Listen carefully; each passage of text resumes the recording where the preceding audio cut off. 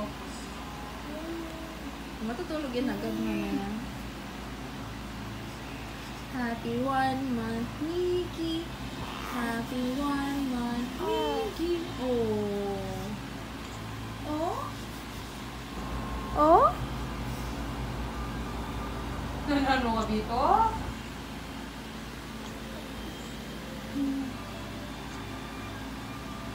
You're so guwapo. So cute-cute naman.